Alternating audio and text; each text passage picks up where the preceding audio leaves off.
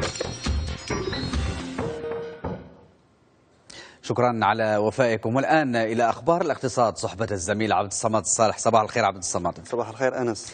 إذا البداية عبد الصمد بالمغرب ونتائج عمليات صندوق الدعم المالي للمقاولات الصغرى والمتوسطة والتي فاقت المليار ونصف المليار درهم. نعم أنس. والنتيجة آلاف مناصب الشغل ورقم مهم في المعاملات.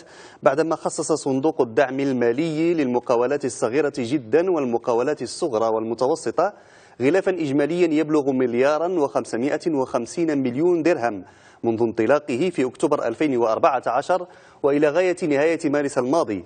وبحسب معطيات لوزارة الاقتصاد والمالية فإن حصة المقاولات المستفيدة من دعم الصندوق بلغت 95% من مجموع المقاولات و83% من حجم القروض الممنوحة.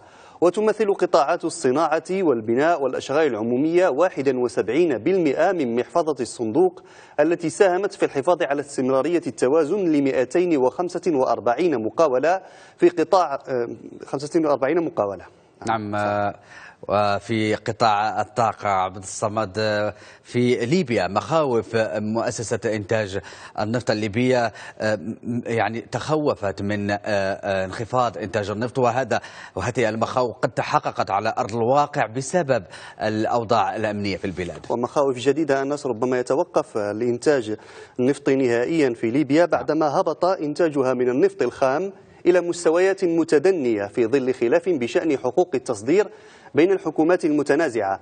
وقال مسؤول من المؤسسة الوطنية للنفط في طرابلس إن إنتاج البلاد أصبح يتراوح بين 200 ألف و 220 ألف برميل من النفط يوميا بعد أن اضطرت شركة الخليج العربي للنفط أكبر شركة تابعة للمؤسسة لتخفيض إنتاجها بأكثر من النصف لينزل إلى أقل من 100 ألف برميل يوميا من 230 ألف برميل يوميا.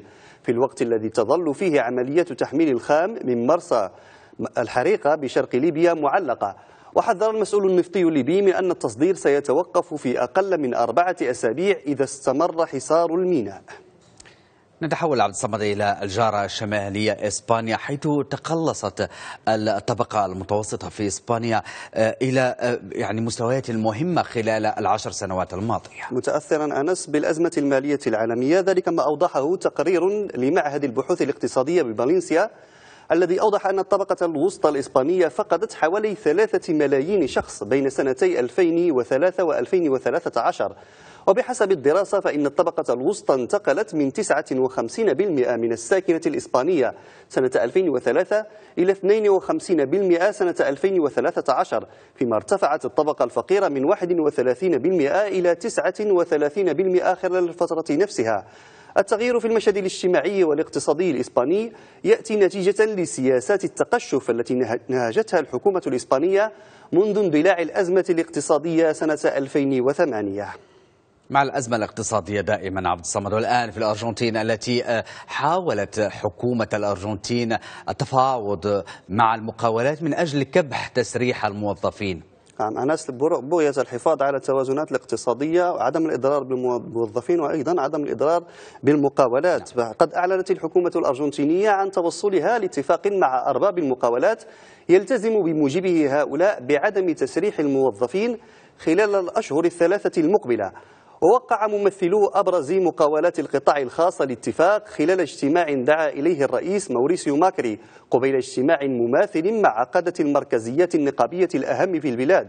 وتسعى حكومة الرئيس ماكري من وراء هذه الخطوة إلى قطع الطريق عن مشروع قانون قدمته المعارضة يقضي بمنع تسريح الموظفين ويفرض تعويضات مضاعفة لهؤلاء في حال تسريحهم. إذا عبد الصمد نختم بقطاع التجارة الإلكترونية. في الهند هذا القطاع الذي يعد بمزيد من التقدم خلال الخمس سنوات القادمة. ينمو بشكل كبير أنس متقدما على بقية دول العالم.